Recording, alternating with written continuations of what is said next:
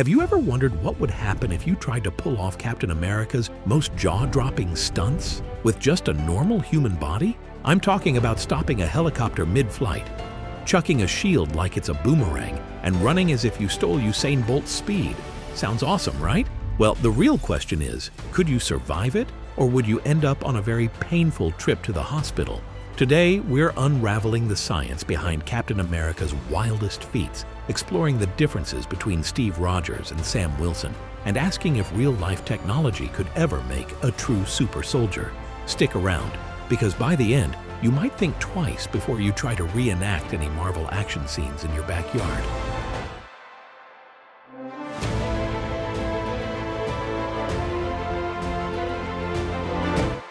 First, let's jump back to 1941, a time when the world was at war and the comic book scene was bursting with creativity. Enter Steve Rogers, a skinny, sickly kid with more patriotism than muscle mass. So scrawny that the army basically laughed at him during the physical exam. But Steve's got heart, and when you have heart in a comic book universe, things tend to go your way. He volunteers for Project Rebirth, a secret program led by Dr. Abraham Erskine, who's cooking up the legendary super soldier serum. Combine that serum with some Vita rays, don't ask, it's comic book science, and boom, Steve transforms from a 90-pound weakling into a nearly unstoppable superhuman. Blessed with heightened strength, speed, agility, endurance, basically everything except the ability to do laundry with his mind. In the Marvel Cinematic Universe, Chris Evans brings this transformation to life we see Steve outrunning cars, leaping out of planes without a parachute, and even stopping a helicopter from taking off with nothing but his biceps, grit, and a prayer. It all looks easy when you're wearing red, white, and blue spandex, but realistically, it's a surefire recipe for snapped bones and immediate regret if you or I ever tried it. Then there's Sam Wilson, also known as the Falcon, who eventually becomes Captain America 2.0. Unlike Steve, Sam isn't hopped up on magic juice. He's just a highly trained soldier who knows how to pilot winged jetpacks better than most people can ride a bicycle. In the comics, he's got a psychic link with birds, yes, birds, and can coordinate with his loyal falcon, Redwing. The MCU toned that down, focusing on Sam's top-tier military experience, strategic mind, and an unwavering moral compass. He proves that you don't need a serum pumping through your veins to carry that iconic shield with honor, or to deliver a swift beatdown to a room full of Hydra agents. When you compare the two, Steve Rogers is the byproduct of cutting-edge, if fictional science, while Sam Wilson represents the pinnacle of disciplined, flesh and blood human effort. Both are heroic, both are fearless, and both stand for something greater than themselves. But while Steve can bench press ridiculous amounts and run marathons at the speed of a sprint, Sam shows that willpower, training, and ingenuity can go a long way, even when you don't have a super serum advantage. Still, the big question lingers. Could a normal, unaltered person, the way we are right now, survive doing even half the stuff that Captain America is known for? Let's find out.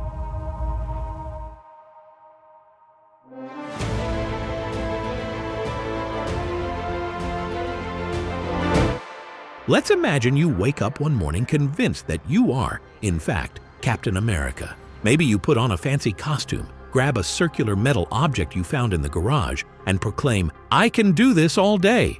But can you really? First, picture that famous moment in Captain America, Civil War, where Steve literally holds down a helicopter that's revving its engines to take off. A light helicopter weighs around 3,000 pounds that's more than two grand pianos stacked on top of each other. Human bones, though pretty resilient, can handle only so much strain before they crack like dry twigs. Studies show that our skeletons can endure about 170 megapascals of compressive strength. Impressive, but nowhere near the stress you'd experience yanking on a helicopter skid. Unless you're rocking some top-secret bone density that's triple the norm, you'll hear a snap before the pilot even revs the engine to full power. Then there's the classic shield toss. Imagine a disc traveling at roughly 80 kilometers per hour, slicing through the air, and bouncing off walls like some kind of murderous frisbee. If you try to catch that bad boy bare-handed, you'll be lucky if it only dislocates your shoulder. The force involved would shred your ligaments and break a few fingers along the way. And let's not forget the running. Usain Bolt holds the record for the 100-meter dash, clocking a top speed around 44 or 45 kilometers per hour, but only for a few seconds. Captain America seems to run that fast for extended periods.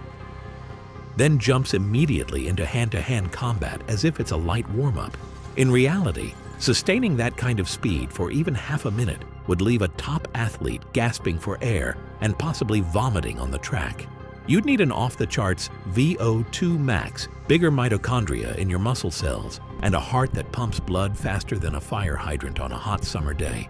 Of course, the superhero landing is another staple that would spell doom for your spine. Drop from a decent height, hit the ground in a cool squat, and walk away looking impressive. In real life, that impact can be multiple times your body weight, enough to smash your ankles or cause a nasty fracture in your knees or lower back. Doctors everywhere collectively cringe whenever they see action heroes jump off buildings and land in a neat pose. In short, unless you happen to have a hidden serum supply in your fridge, your body just isn't made for these stunts. Even top-tier athletes who push the boundaries of human performance would be flirting with catastrophic injury. But while our biology has limits, technology might offer a helping hand. That leads us to the next big piece of the puzzle, the shield itself. Let's talk about the science behind the Vibranium Wonder Disc and see if real-world materials can give us anything close.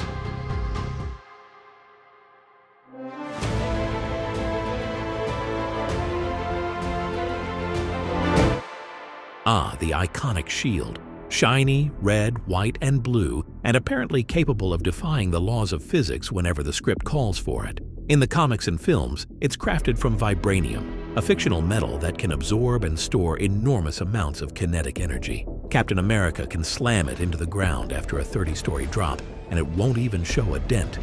Thor's hammer can crack against it, and the shield basically shrugs it off.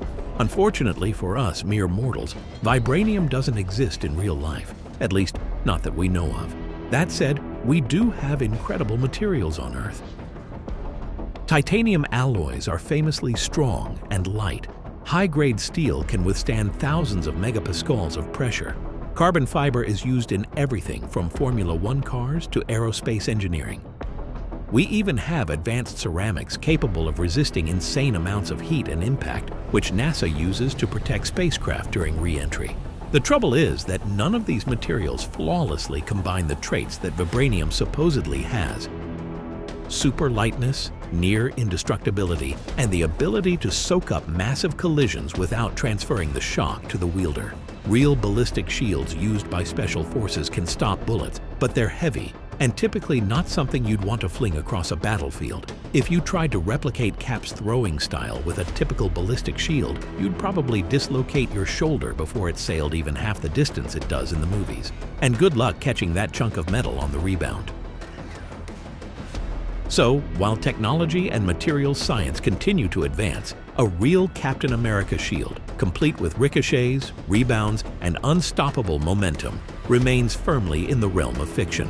But is anyone out there trying to turn soldiers into unstoppable machines anyway, with or without a magic metal disc? Funny you should ask.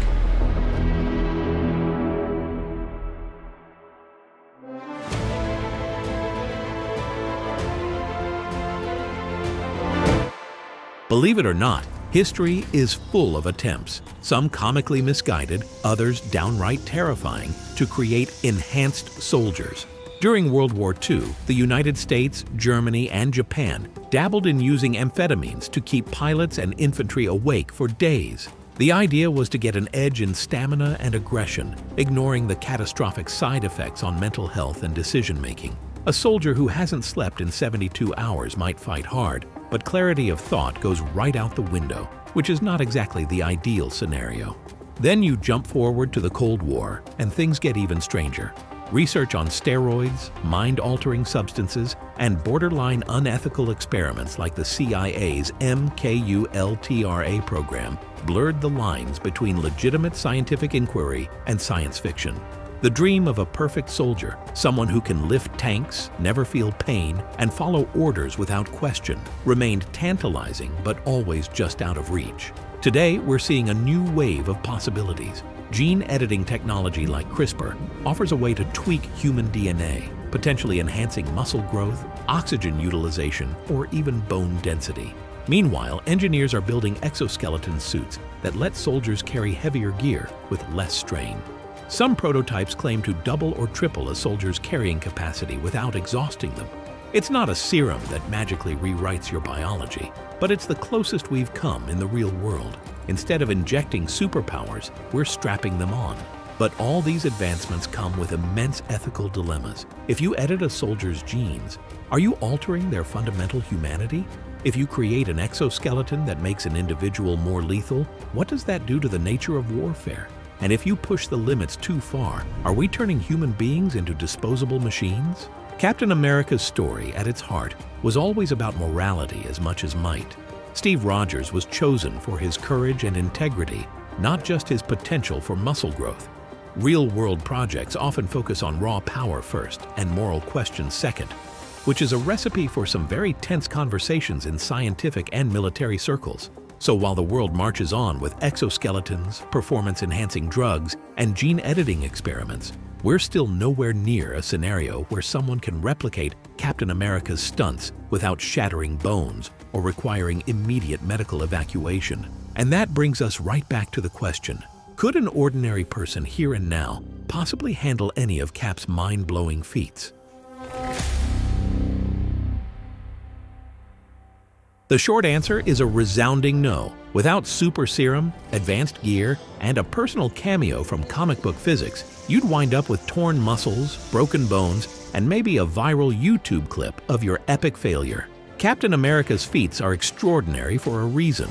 He's a fictional icon, the product of creative minds who wanted to imagine a hero that represented the best of humanity, plus the superhuman stuff. Trying to mimic his stunts with normal bones and ligaments is like putting a hamster on a racetrack with Formula One cars. It's never going to end well. That said, the story of Captain America is less about raw power and more about spirit, courage, and decency. Whether it's Steve Rogers pushing himself beyond any limit, or Sam Wilson proving that normal humans can stand shoulder to shoulder with gods and cyborgs, the real superpower here is moral fortitude. Sure, it's fun to geek out about vibranium and unstoppable helicopters, but there's something equally inspiring in Sam's decision to carry on Cap's legacy without any serum in his veins. It reminds us that heroism isn't just about bench pressing a tank, it's about standing firm for what you believe in. Now, before you leap off your couch and attempt a superhero landing in the driveway, do me a favor, hit that like button. If you enjoyed this breakdown of the science and history behind Captain America, subscribe to the channel so you don't miss our next deep dive into the wild worlds of comics, movies, and futuristic tech. And drop a comment telling me which Captain America moment made your jaw drop the most. Was it the time he fought off a dozen heavily armed agents in an elevator? Or that scene where he outran cars on foot and still had time to trade witty banter? Who knows, maybe one day science will catch up and we'll see an actual super soldier strolling around. But until that day, let's leave the helicopter stopping, shield throwing shenanigans to the professionals in Hollywood. After all, real life doesn't come with a retake button or CGI to patch up our broken bones. So stay safe, stay curious, and never stop dreaming about what we could achieve with just a little extra spark of heroism. Or, you know, a top secret serum, whichever comes first.